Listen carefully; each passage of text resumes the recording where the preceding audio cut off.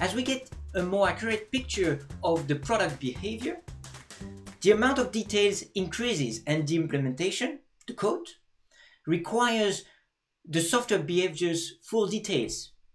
With Python, we've seen that the language provides a level of abstraction. We do not write zeros and one, not, not even machine instructions, but we express our algorithm with constructs that are already very close to plain English. This is an abstraction, as it hides from us the technical details that we don't need to know about to develop our algorithm. Beyond the implementation language, software can be structured around a common mental model, objects. Object-oriented design is about structuring software with a mental model in which everything can be represented as an object. Objects are representations of things that matter for the software. It can represent a physical object, such as a chair, a building, but also a living entity, such as a human or a pet. It can also be a virtual or intangible element, such as a bank account or a file on a computer. Anything that is relevant to the software being designed. An object has states, which is data that is stored in memory specifically for this object. For instance, a chair could have a color, a size, a release date. A bank account has a number, a current balance. In the doorbell example, the door is open or closed, locked or unlocked. These are states. In addition, an object has behaviors, abilities to perform actions. For instance, the doorbell can ring while the camera can start capturing a video stream. Object-oriented design is thus a way to organize software into objects that have a coherent set of information and functionalities. We call class the specification of an object. This is the mold that the software uses to create objects with the same specification. For instance, the push button on the front door to ring the bell and the push button in the entrance to open the door, they have the same need in state and behavior. They can be created out of the same mold, out of the same class. There are four object-oriented principles. The first is the abstraction, the initial motivation for introducing this concept.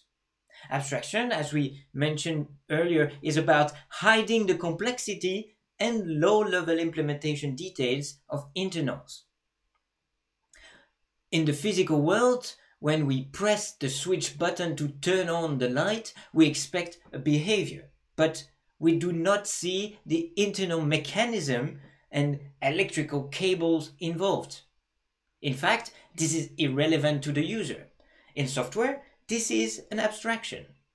We hide the implementation details of the behavior inside the object and only expose the relevant functionality to the user.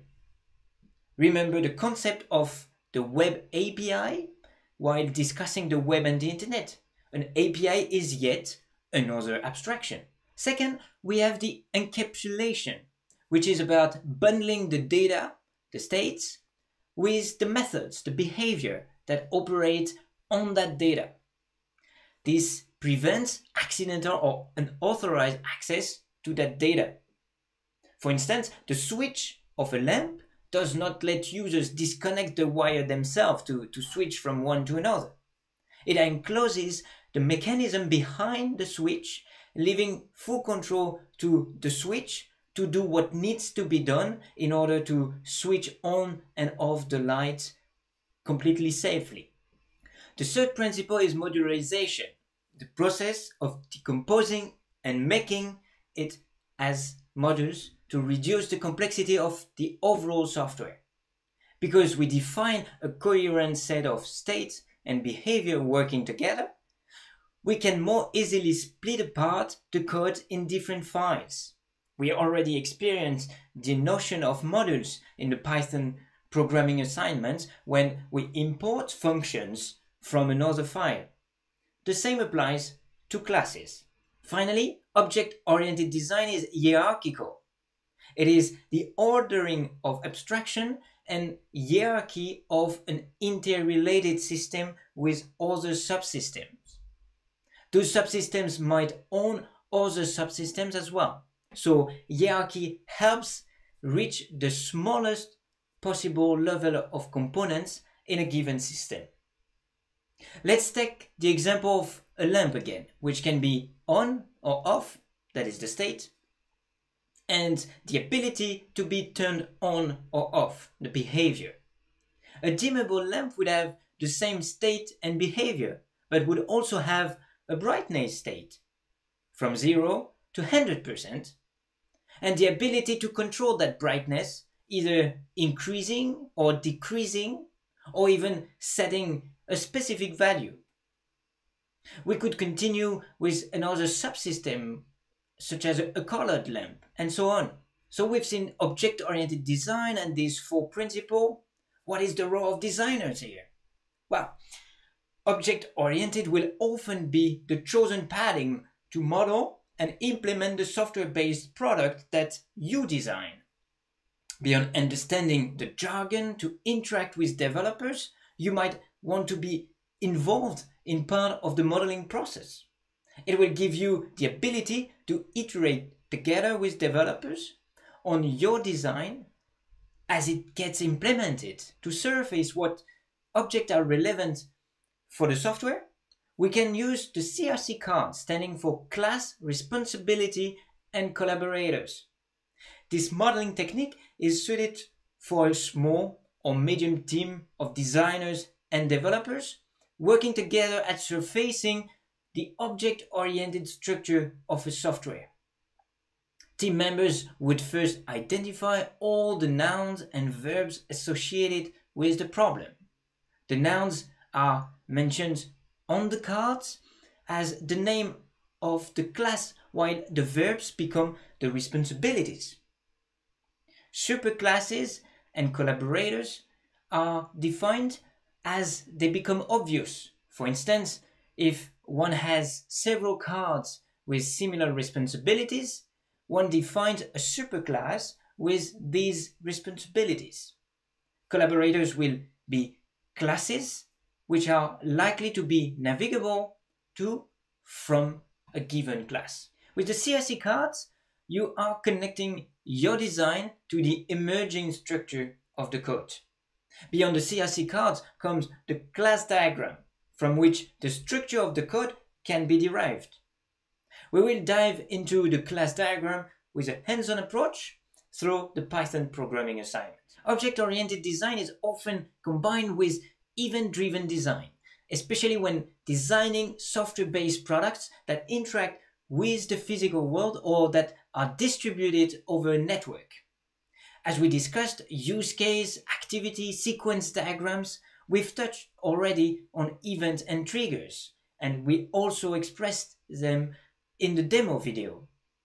In software, an event is a runtime operation, something that takes place when the system is running. It is executed by a software element to share information. This information can be as simple as the event itself occurred. It is made available for potential use by software elements not specified by the operation. In our doorbell example, the presence of a visitor can be detected from a motion sensor or directly by the doorbell button being pressed. Through this mechanism, we do not care about where the code is running. We bring the requirement that the doorbell button needs to be able to send a message to the bell. We also revert the responsibilities.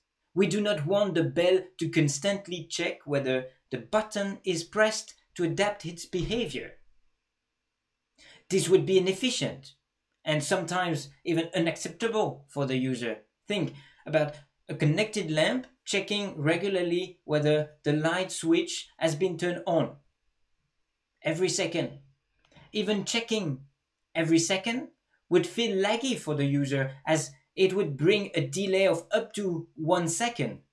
With events, both the bell and the lamp wait to be notified, an event, and only act upon the reception of these events. Relying on an event-driven mechanism fit the publish-subscribe model. Some parts of the software publish events, others are subscribing to these events to act upon it. It is a typical Internet of Things model with the MQTT protocol. When a software element subscribes to an event, such as the doorbell button is pressed, it provides a handler, that is, a function that describes what to do when receiving the event. This handler function is called each time that the event occurs. What are the key advantages of this mechanism? Well, it is more efficient. We do not continuously ask for information. It is more reactive. We do not wait until the next time we ask. We just receive the information as soon as the event occurs. It separates concerns. We avoid mixing code triggering the event with the code acting on the event. This makes our code much more reusable. And fourth, we make the code more dynamic.